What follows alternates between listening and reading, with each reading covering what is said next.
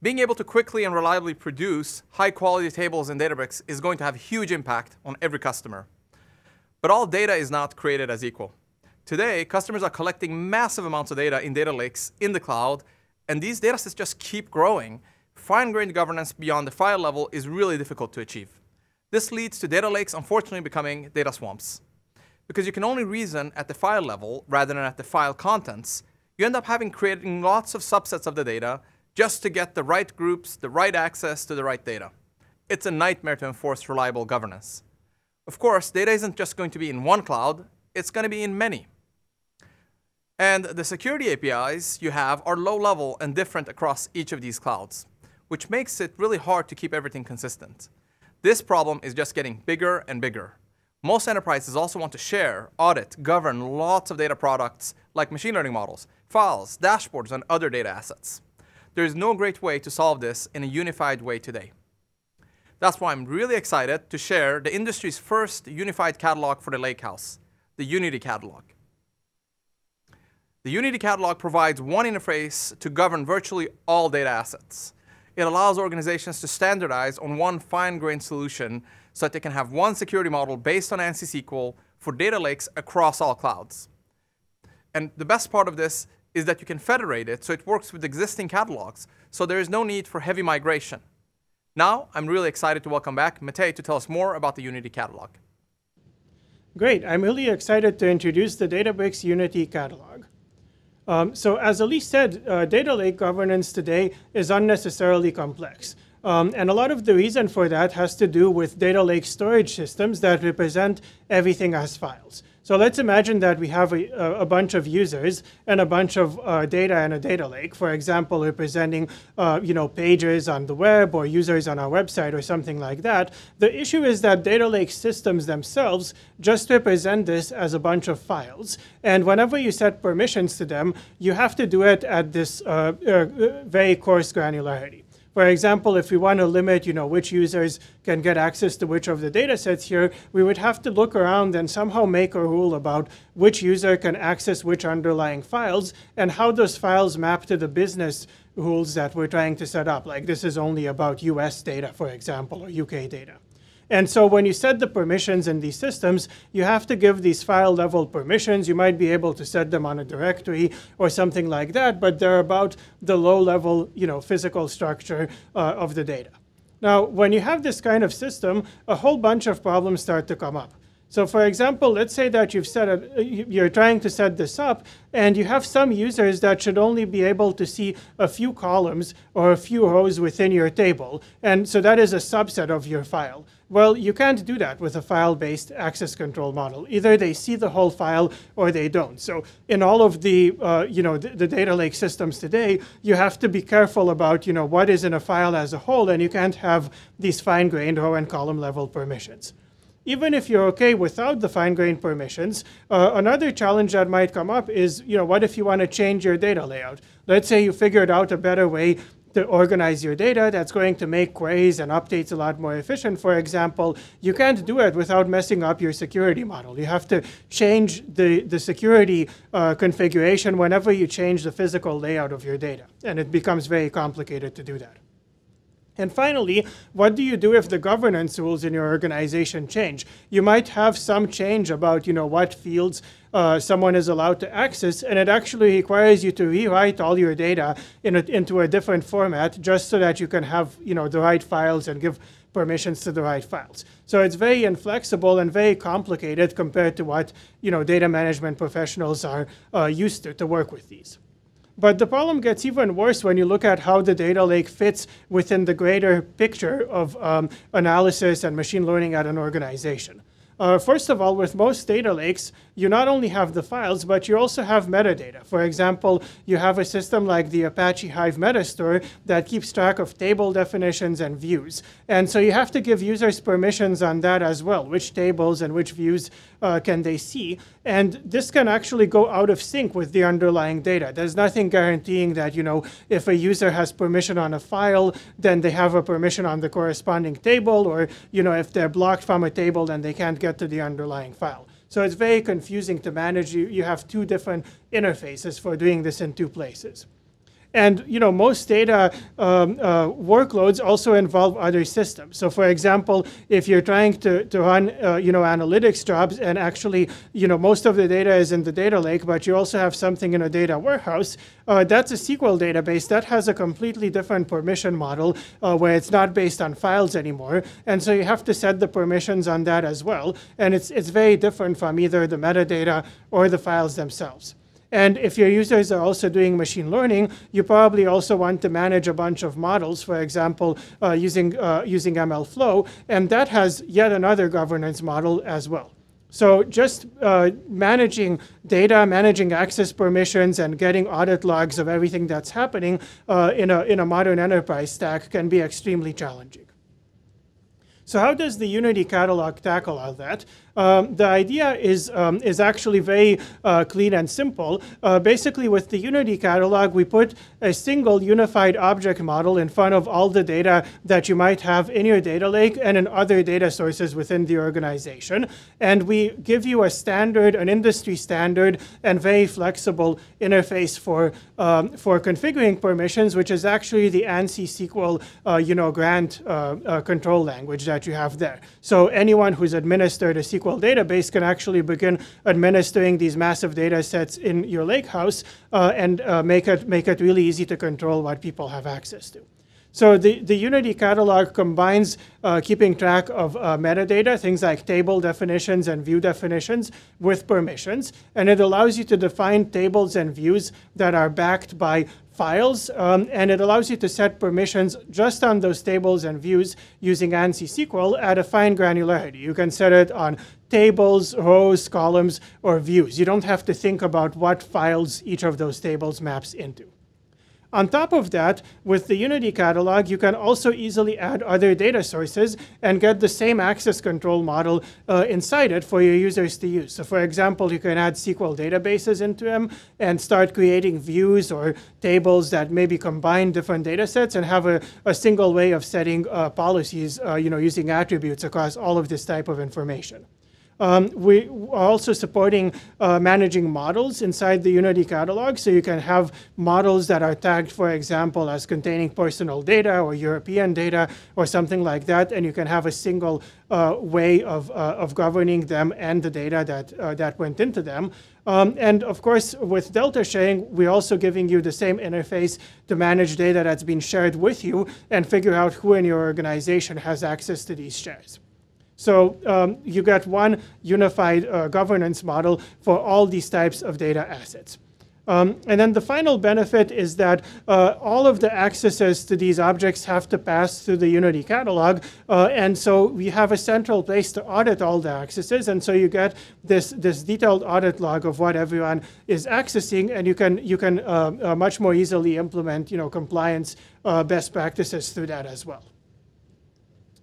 So how, does, how, how do you actually use the Unity catalog? Let's start by showing how to use it for uh, tables. Um, so the catalog is designed so you can actually take existing data you have in the cloud or in a data lake and start adding these fine-grained permissions in front of it. So you could just create a new table, you know, that, that we build uh, for you in your own storage bucket, but you could also uh, create an external table that points to an existing location in S3 or ADLS or your favorite cloud storage system, and you can tell the, the Unity catalog what uh, credentials, such as an IAM role, to use for accessing that, and then you know the catalog will be able to get to it, but all the permissions for end users will be these fine-grained permissions that you set using uh, table and view definitions in front of it.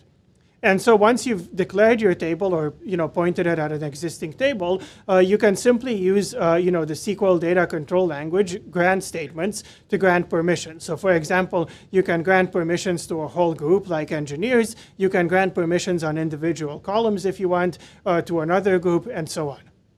Now, the permissions aren't just limited to tables and columns. The Unity catalog also understands SQL views, and this allows you to create um, um, views that aggregate the data uh, in complex ways and to give someone access to just a specific subset of the data. So for example, let's say that we had uh, these, uh, these IoT events we collected here, and for some users in our company, we only wanted them to see aggregate data by uh, date and country instead of seeing the individual events we can just create a view that aggregates that and grant select on that view. And the Unity catalog will make sure that these users can only see the aggregated data.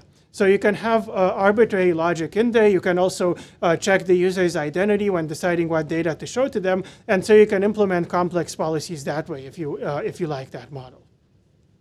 Now, tables and views get you pretty far, but when you have to uh, manage uh, governance for very large data sets, uh, you know, in, in very large enterprises, you often also want um, um a, a, a, way to factor out the policies so that uh, it's much easier to set a policy on a lot of data uh, together. And so for that uh, purpose, we're actually supporting attribute-based access control in the Unity catalog as well.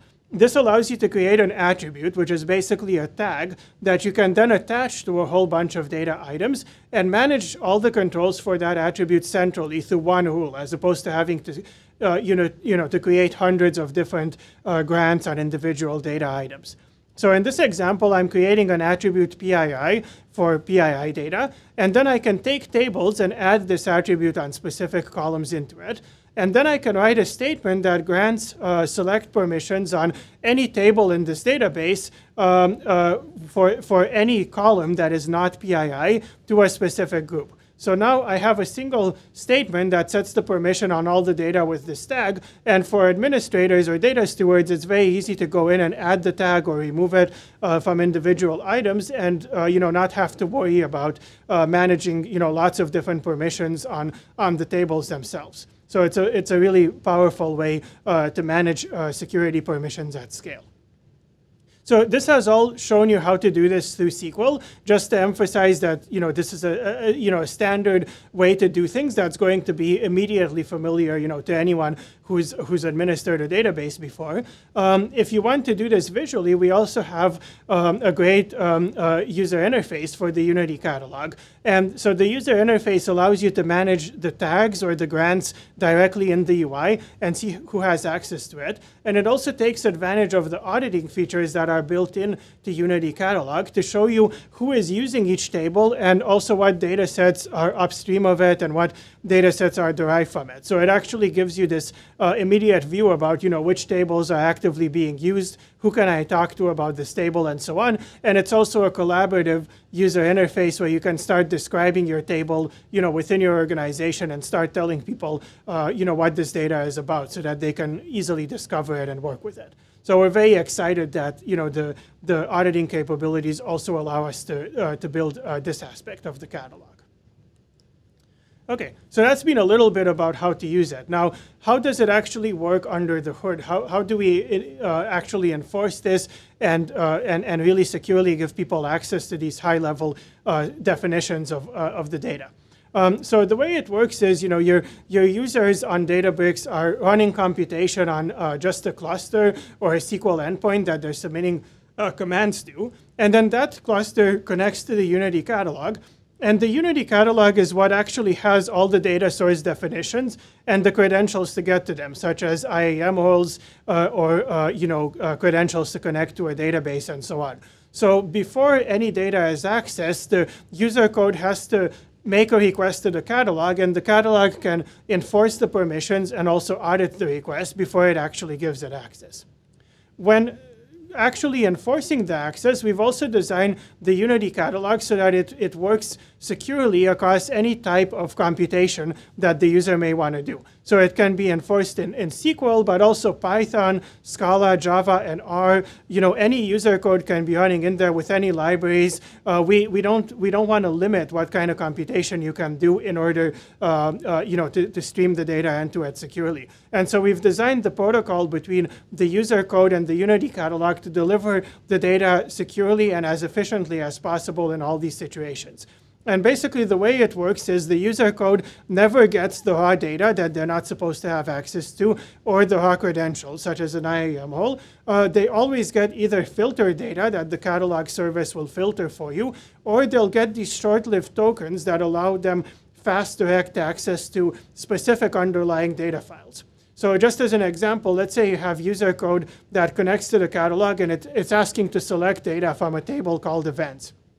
And imagine that this user is actually allowed to read the whole table. They have permission to do that. In this case, the Unity catalog will check the permissions, you know, audit the access, and then it will actually give the user code a temporary S3 token that allows it to read just those files within the events table. So this transfer, the, the reading of this data will be extremely fast when the user has full permissions on it. It's basically, you know, as fast as if we weren't running the catalog in front of it as well, but it's much more secure than giving the user code an IAM role because uh, it, it will now always be in sync with the table definition. And if we ever change permissions or we change the table definition, you don't have to hunt up all these IAM roles and figure out, you know, what uh, files in a directory structure they had access to. And of course, if the user it was only allowed to select a subset of it, we would just filter the data first uh, before, uh, before giving it to this user.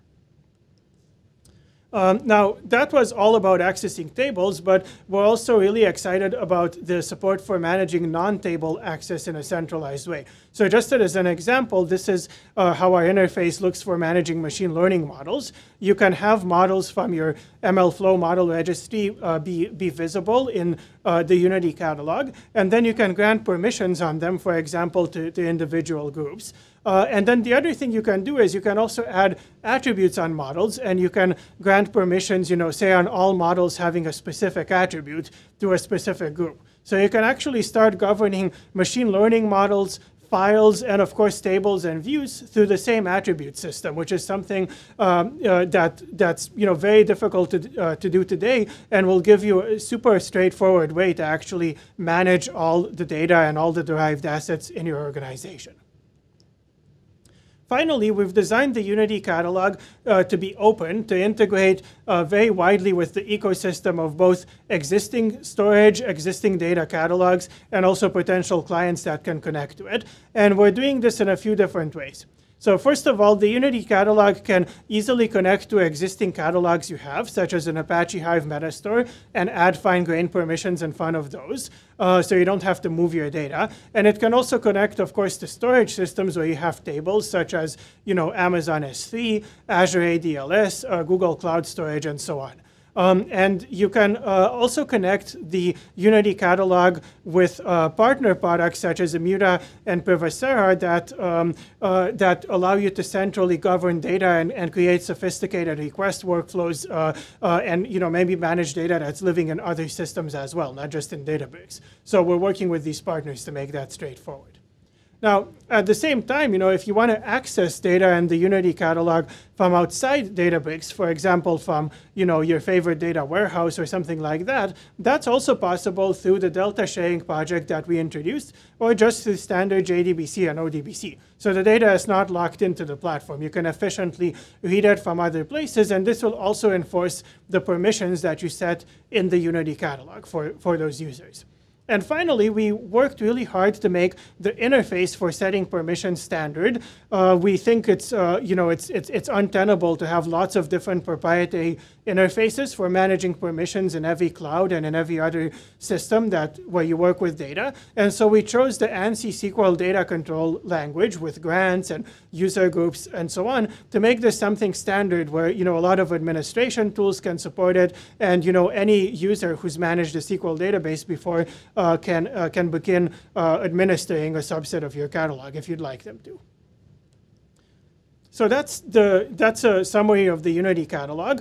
Um, Unity catalog brings fine-grained centralized governance to Lakehouse uh, and data lake and machine learning through a very simple standard interface, which is ANSI SQL. And we think this is going to be essential to fully realize the potential of the Lakehouse model. Thus far, the, the, the governance model for data lakes has simply been more complicated than it needs to be, and there's no reason for it to stay that way. So with Unity catalog, you'll be able to manage manage all this data, uh, you know, as if it was a SQL database. You'll have fine-grained permissions, uh, and you'll be able to access it from a wide range of systems, and it will still be highly efficient, uh, low cost, you know, highly reliable, and it'll have all the advantages that, uh, you know, Lakehouse and Data Lake systems have today.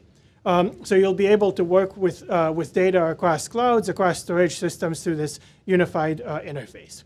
Uh, we'd love to have you uh, try out the Unity catalog, and we're inviting users to join our waitlist at databricks.com/unity uh, to try uh, out the catalog when it's ready.